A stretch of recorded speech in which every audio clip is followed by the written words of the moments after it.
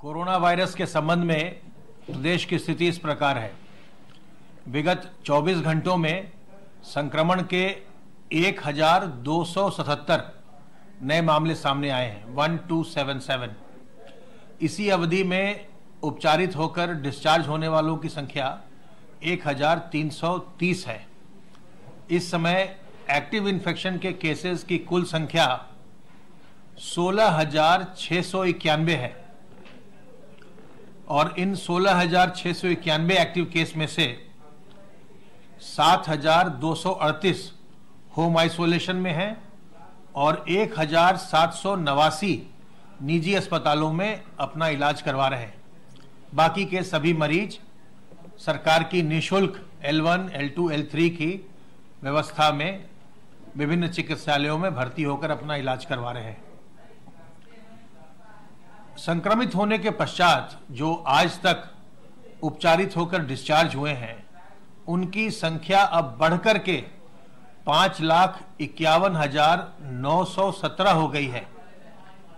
और रिकवरी का प्रतिशत बढ़कर के अब पंचानवे दशमलव छ आठ प्रतिशत हो गया है 95.68 परसेंट।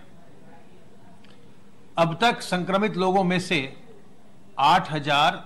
8,224 लोगों की मृत्यु हुई है और केस फैटेलिटी रेट प्रदेश का एक दशमलव चार दो छह प्रतिशत चल रहा है।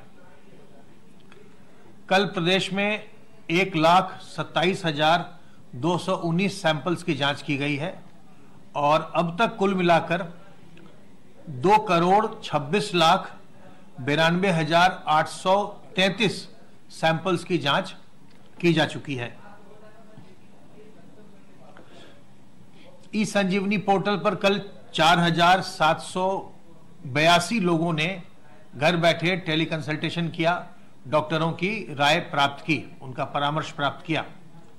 और अब तक कुल मिलाकर के अपने प्रदेश में अब ये संख्या आज तीन लाख पार हो गई है।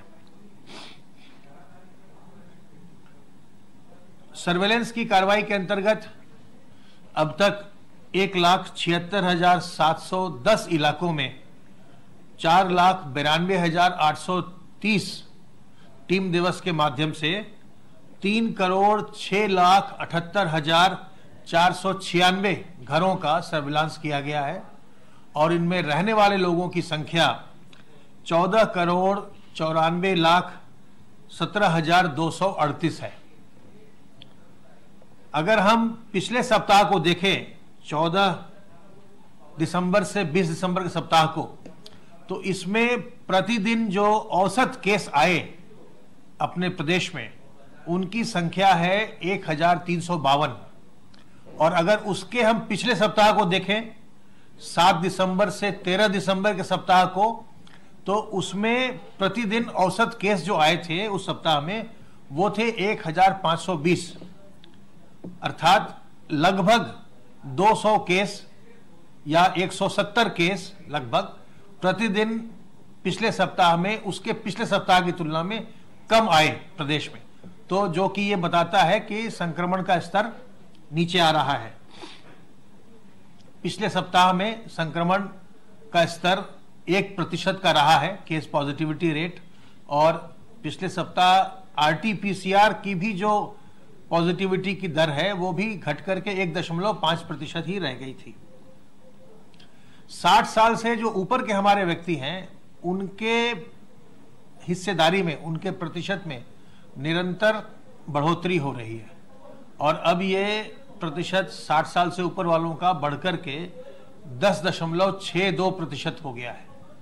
तो ये बार बार मैं अनुरोध कर रहा हूँ कि जो साठ साल से ऊपर के लोग हैं उनके संक्रमित होने पर जटिलताएँ आती हैं, लेकिन ऐसा लग रहा है कि लोग इस पर बहुत ध्यान नहीं दे रहे हैं और अपने बुज़ुर्गों को घर से बाहर वो ले जा रहे हैं, निकाल रहे हैं किसी कार्यक्रम के लिए, किसी और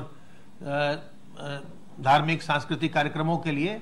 तो ये जो है, ये मैं आपसे बार बार निवेदन कर रहा हूँ कि जो हमारे बुज़ुर्ग हैं, उन्हें अनावश्यक घर से बाहर निकलने की आवश्यकता नहीं है। और उन्हें सावधान, सतर्क रह करके और हमें भी पूरी सावधानी बरत के उन्हें संक्रमण से बचाना है।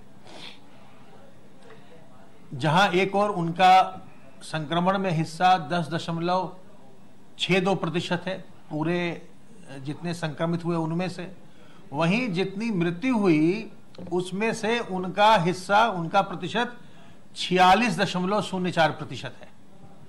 तो इसलिए मेरा निवेदन यह है कि जो हमारे बुज़ुर्ग हैं या जो लोग पहले से किसी बीमारी से ग्रस्त हैं या गर्भवती महिलाएँ या छोटे बच्चे हैं, ये घर में ही रहें यथासंभव और संक्रमण से अपने आप को बचाएँ। कुछ जनपदों से ऐसी सूचना प्राप्त हुई है कि जो निजी प्रयोगशालाएँ हैं वो जो निर्धारित दर है आरटीपीसीआर की जाँच का, उससे अधिक धनराशि ले रहे हैं। आप जानते हैं कि अगर आप किसी प्रयोगशाला पर जाकर के अपना सैंपल देते हैं तो निजी प्रयोगशाला पर, जो सरकारी जो प्रयोगशालाएँ हैं, जो सरकारी केंद्र हैं, उसमें जाँच बिल्कुल निशुल्क है।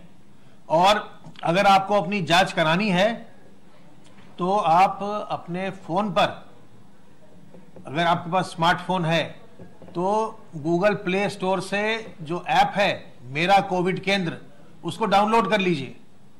उस ऐप से आपको जहाँ पर भी आप हैं उत्तर प्रदेश में, उसमें आपके पाँच किलोमीटर के दायरे में कौन से केंद्र ऐसे हैं सरकारी, जहाँ की निशुल्क जाँच हो सकती है आपकी, वो आपको पता चल जाता है।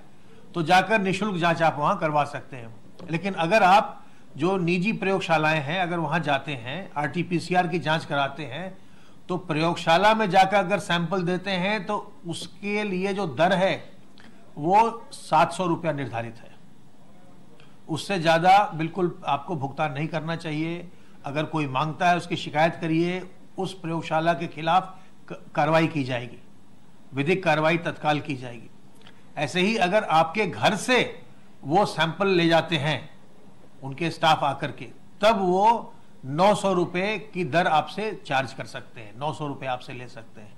तो अगर आपके घर से सैंपल ले गया है कोई कोई प्रयोगशाला का स्टाफ तो आपको अधिकतम नौ सौ रुपये का भुगतान करना। अगर उससे ज़्यादा आपसे मांगा जाता है तो हमारे हेल्पलाइन नंबर पर अठारह सौ, एक सौ अस्सी, इक्यावन, पैंतालीस पर या अपने ज़िले के मुख्य चिकित्सा अधिकारी से को शिकायत करिए, संपर्क करिए। वैसे प्रयोगशालाओं के खिलाफ कार्रवाई की जाएगी। ऐसे दो तीन जिलों से ऐसी सूचना प्राप्त हुई है कि निजी प्रयोगशालाओं के द्वारा अधिक पैसे लोगों से, कुछ लोगों से लिए गए हैं। तो अगर ऐसा होता है आपके साथ तो आप उसमें तत्काल हमें सूचना दे सकते हैं, उनके खिलाफ हम कार्रवाई करेंगे। आप ये भी अवगत हैं कि भारत सरकार के द्वारा जो यूनाइटेड किंगडम से फ्लाइट्स आ रही हैं, उनको रोक दिया गया है। 31 तारीख तक फ्लाइट्स पर रोक लगा दी गई है। और मेरा निवेदन होगा ऐसे लोगों से जो सात तारीख के बाद से आए हैं यूनाइटेड किंगडम से और उत्तर प्रदेश में आए हैं। मेरा आपसे अनुरोध होगा कि आप अपनी जाँच करवा लीजिए। क्योंकि जो बात आ रही है कि कोई नया स्ट्रेन आया है वहाँ तो अपने प्रदेश में संक्रमण बिल्कुल हम नियंत्रित रख पाए। इसके लिए हर एक नागरिक को अपना सहयोग करना है। तो आप अपनी जाँच करवा लीजिए। जाँच के लिए जैसे मैंने बताया कि मेरा कोविड केंद्र ऐप पर जाकर के आप पता कर सकते हैं या अपने ज़िले के मुख्य चिकित्सा अधिकारी से पूछ सकते हैं या फिर अपने ज़िले के कोविड कमांड सेंटर से आप जानकारी कर सकते हैं कि कहाँ आपकी जाँच हो सकती है। और जिला चिकित्सालय पर जाँच होती है, उसके अलावा हमने ढेर सारे और केंद्र भी बना रखे हैं। तो अपनी जाँच करवा लीजिए और अगर आप अभी तत्काल आए हैं तो कम से कम एक सप्ताह से दस दिन तक अपने को सेल्फ क्वारंटाइन में रखिए, घर में रखिए, ताकि आपसे किसी और को कोई संक्रमण न मिले। इसके अलावा अगर आप अन्य यूरोपीय देशों से भी अगर आए हैं, सात तारीख के पश्चात तो मेरा आपसे अनुरोध होगा कि अगर आप में लक्षण आ रहे हैं तो आप अपनी जाँच करवा लें, ज़रूर करवा लें। किसी भी प्रकार के लक्षण हो, अपनी जाँच करवा लीजिए। अगर यूनाइटेड किंगडम से आए हैं, तब तो आपको अनिवार्य रूप से अपनी जाँच करवानी है। तो आप अनिवार्य रूप से अपनी जाँच करवाएँ। हम लोग सब लोग अगर सावधान रहेंगे, सतर्क रहेंगे तो हमारे प्रदेश में जो संक्रमण नियंत्रित हुआ है, बिल्कुल ही निचले स्तर पर है, उसको हम मेंटेन कर सकेंगे, उसे हम और भी हम कम कर सकेंगे। लेकिन अगर हम सावधानी नहीं बरतेंगे, हम लापरवाही करेंगे तो फिर से संक्रमण बढ़ भी सकता है। आप जानते हैं कि संक्रमण कम हुआ है, समाप्त नहीं हुआ है। तो इसलिए बहुत आवश्यक है कि हम सावधानी निरंतर बरतते रहें और जो भी संक्रमण को नियंत्रित करने के तरीके हैं, संक्रमण की श्रृंखला को रोकने के तरीके हैं, उनको हम, उनका हम पालन करते रहें। और इसके लिए अपने हाथ को साबुन पानी से बार बार साफ़ करते रहना, सार्वजनिक स्थलों पर अपने मुँह और नाक को ढककर रखना, मास्क से ढकिए, रुमाल, गमछे, दुपट्टे से ढकिए और लोगों से दो गज की दूरी बनाइए। दो गज की दूरी और मास्क है ज़रूरी। इस मंत्र का पालन करेंगे तो संक्रमण को नियंत्रित रखेंगे, खुद भी बचेंगे, दूसरों को भी बचाएँगे।